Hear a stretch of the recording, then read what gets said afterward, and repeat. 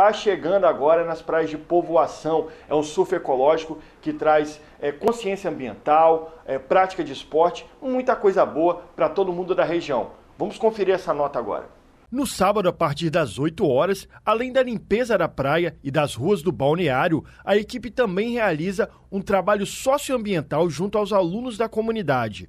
Na ocasião, os alunos irão participar de uma palestra sobre conscientização ambiental e ainda haverá coleta seletiva na escola para gerar renda para a mesma. Já no domingo, dia 31, haverá limpeza da praia e plantio de árvores nativas na área de Restinga do balneário a partir das 8 horas. O momento será encerrado com um café da manhã entre os participantes. O Circuito Ecológico de Surf visa unir o esporte com a educação ambiental. Os interessados em participar do evento devem realizar a inscrição até às 18 horas desta sexta-feira, por meio do telefone 99802 7409.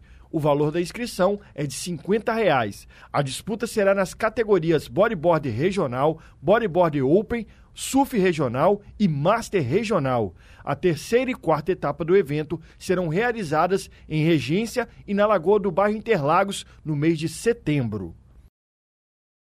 Um evento muito bacana que eu espero que se repita várias vezes em vários anos, porque realmente é, nós somos a cidade da Lagoas, né, das Lagoas, um lugar muito bonito. Chamamos a atenção pelos nossos balneários e realmente não podemos deixar isso sujo. E é bom é, já deixar as novas gerações aprendendo sobre como é importante cuidar do meio ambiente.